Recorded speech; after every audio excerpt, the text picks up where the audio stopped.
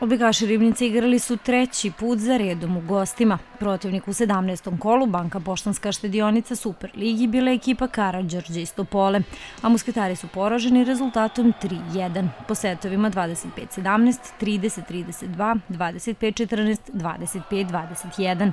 Za odbjegaše Kraljevačkog tima ovo nije nikako dobra situacija jer su upisali peti poraz u nizu. U pobedničkom timu najefikasniji bio Aleksandar Bošnjak sa 12 poena, dok su Alija Bekrić i Miloš Vemić upisali po 11.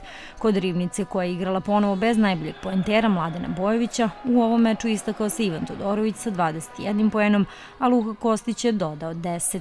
Posle 17 kola Rivnica se nalazi na 10. mestu na tabeli, a naredni meč igraju u Kraljevu posle dužeg vremena, a gost će im biti Subotički Spartak.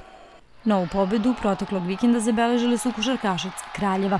Malene su prilično lako izašle na kraj sa Topolčankom iz Bačke Topole, a konačni rezultat je glasio 98-64 po četvrtinama 27-15, 21-15, 27-13 i 23-21. Najbolje ovo meču kod domaćih bile je kapiten Dragana Gobeljić sa 18 poena, a ponela i titulu MVP-a 15. kola. Nina Tešić ubacila je 17, Andreja Vasiljević 14, a Ajala Emanuel 11 poena uz 11 skokova.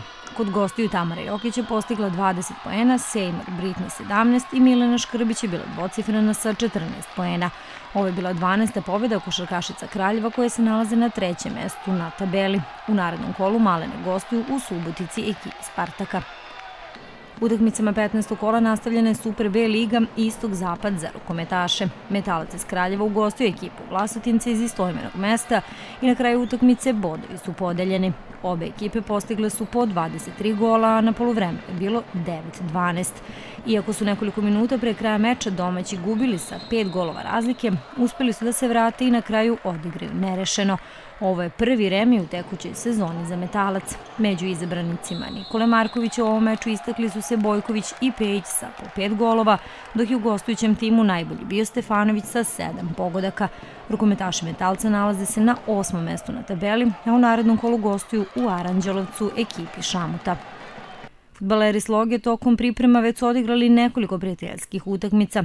U samo nekoliko dana dva puta su igrali u Kruševcu sa srpsko-ligašima. U prvom meču sa Meševom rezultat je bio 1-1, strelac za Bele bio Anđelković, a u drugom kontrolnom susretu jedinstvo 1936 zabeležilo je pobedu 3-2.